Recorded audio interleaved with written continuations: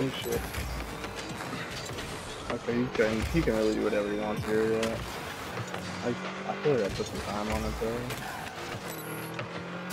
Taking us up the wall, so he's gonna go for flick.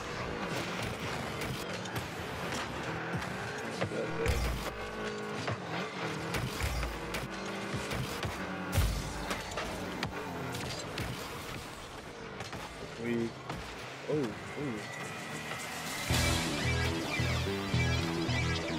Your skills. You in the danger room.